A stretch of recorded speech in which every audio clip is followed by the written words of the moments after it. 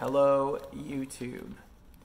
Um, I just decided to make a video because I was doing something and I know that there's other videos that I have promised to make, but uh, this one is kind of important and I'm going to show you what I am doing. I am doing a cabinet QC check. Now different municipalities or agencies or whatever um, like to call it different things, but basically we're doing quality control on a signal cabinet that came in from the manufacturer. Um, this is a signal cabinet that has been ordered for me to install as a replacement for an older TS1 that we're converting to flashing yellow arrow and uh, it's it's due for replacement. Uh, so now we're putting a bright shiny new TS2 cabinet in. Before I even accept this thing from the manufacturer, right, I need to be able to test it. So I set it up in the lab with all of the stuff, right? I've got all of my detector cards, I've got my power supply, I even have an Opticom card, and then down here, uh, I'm trying to aim. There is the MMU, multifunction monitoring unit, and there's my signal controller and all of the load switches and even a flasher and uh, you can't see them down here. Oh, there they are, the flash transfer relays. So anyway, all of that stuff is wired in um, or is uh, set up here in the cabinet and then what we've done here is we've wired, we mocked up an inductive loop and so that goes on the detector panel as well as an Opticom receiver. And we can use a handy Optronics remote to uh, preempt the signal. And we even program a basic intersection into the controller and set up a, a test program card with, uh,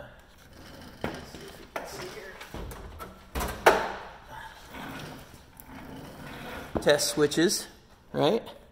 We use these dip switches basically rather than having to sit there and solder a card. You just flip a switch for every phase compatibility you want to run in the conflict monitor. So anyway, all of the inputs, all of the outputs, all of that stuff uh, that runs through the back panel. So here is our 24 volt DC stuff that's driving the load switches as well as the inputs uh, from the detector panel. All of the test switches, right? The stop time switch, the controller power switch, uh, the auto flash switch, right? And then there's a technician flash switch, right? And then over here is the police panels flash switch. The door switches up here all of the inputs and outputs that go through this controller cabinet need to be verified that they meet our uh, specifications.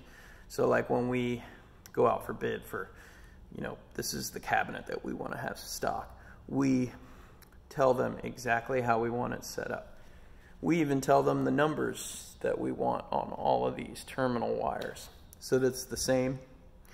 And uh,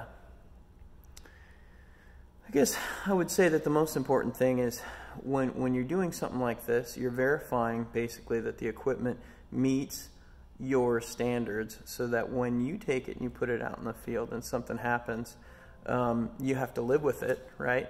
So uh, for the length of your career or for how long this signal cabinet is going to last before getting knocked down or whatever, you know that it's running how it's supposed to that uh, all the gazingas and gazaudas are touching correctly. So anyway, I have a form that I fill out. I even go through and I've got, uh, I do a phase conflict test. So I actually go and I short terminals on here and verify that the conflict monitor and the controller can catch that stuff. Okay? I have all of these check boxes here that we verify all of this stuff. And then we keep it on record as in the easiest place possible usually is we take a photocopy, and we put it on file for the intersection, but then this guy goes right here into my drawer in my signal cabinet. So, um, so I just wanted to make that quick video so that you knew what I was doing today. I I promise, I promise I'm going to make a TS1 video, but um, I've seen uh, people requesting videos for 332 cabinets. I've got a few. Um, they're not exactly my expertise, but uh, um, I know them. I work on them. So uh, one of these days I might do those. But uh, for the time being, hang tight. Uh, click like, subscribe, whatever if you want to keep following. But uh, otherwise, keep on rocking. And I'm going to go play in the sunshine. Catch you later.